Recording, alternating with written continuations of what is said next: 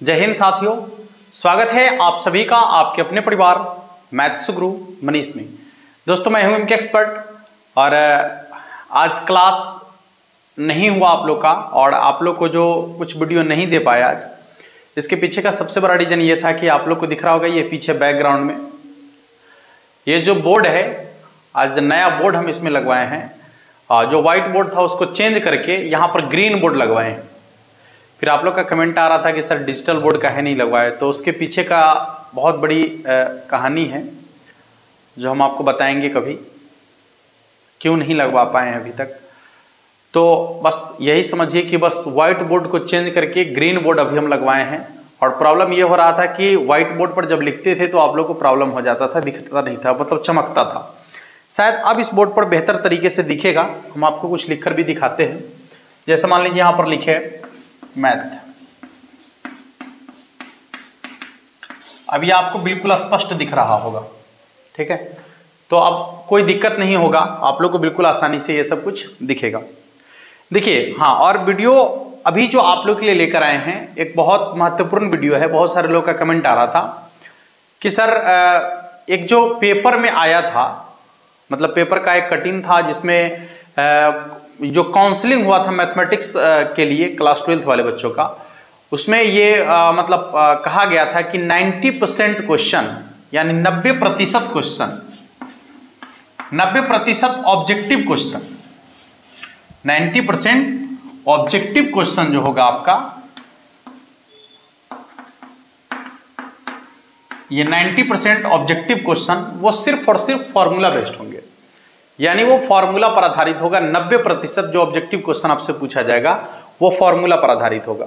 तो ठीक है।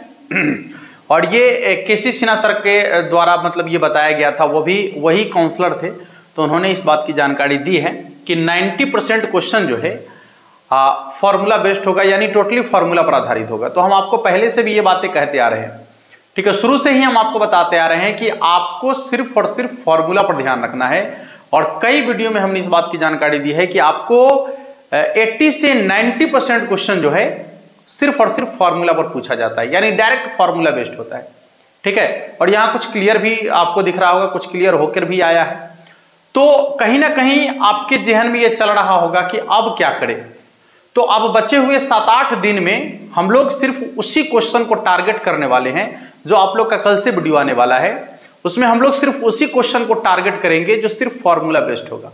यानी बचे हुए सात आठ दिन में यदि आपने इससे पहले कुछ नहीं देखा, कोई बात नहीं है। लेकिन बचे हुए सात आठ दिन का जो तैयारी हम लोग का होगा, उसमें हमने वैसे क्वेश्चन को चुना है, वैसे क्वेश्चन को मतलब कलेक्ट किया है, जो क्वेश्चन सीधे फॉर्मूला बेस्ड है और आपके डायरेक्ट बोर्ड एग्ज़ाम में पूछने की संभावना बनती है। ठीक है? तो ये, अब जो कल से आने वाला वीडियो है, ये काफ़ी इंपॉर्टेंट होने वाला है आप लोग के लिए। ठीक है? और इससे पहले कि यदि कॉन्सेप्ट वाले वीडियो वगैरह को आप लोगों ने अभी तक नहीं देखा है तो वीडियो को देख लीजिए। कॉन्सेप्ट वगैरह आपको पहले बता दिया गया है। अब जो बचे हुए दिन है, उस बचे हुए दिन में हम लोग बेहतर से बेहतर जो है क्वेश्चन को देखने वाले हैं और खासकर इस पर थोड़ा सा ज़्यादा ध्यान रखना है कि 90 परसेंट क्वेश्चन आपके फॉर्मूला बेस्ड होंगे, जो पहले भी आपको बताया गया था और कुछ क्लियर होकर भी आया है। तो अब हम लोग को इस पर थोड़ा सा ज़्यादा ध्यान देना है और साथ साथ सब्जेक्टिव क्वेश्चन को भी देखना है। ठीक है?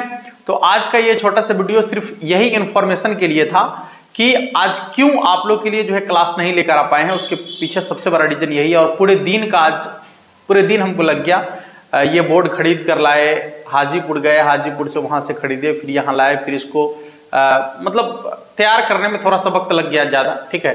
जिसकी वजह से काम नहीं हो पाया। खैर कोई बात नहीं है। आप पीछे वाले वीडियो को रिवीजन कर लीजिए एक बार ठीक है? कल से हम लोग एक धमाकेदार शुरुआत करने वाले हैं और मज़ेदार तरीके से देखेंगे। एकदम सीधे बोर्ड में लड़ने वाला क्वेश्चन सबको देखेंगे। ठीक है? चलिए फिर मिलेंगे कल। तब तक के लिए जय हिंद।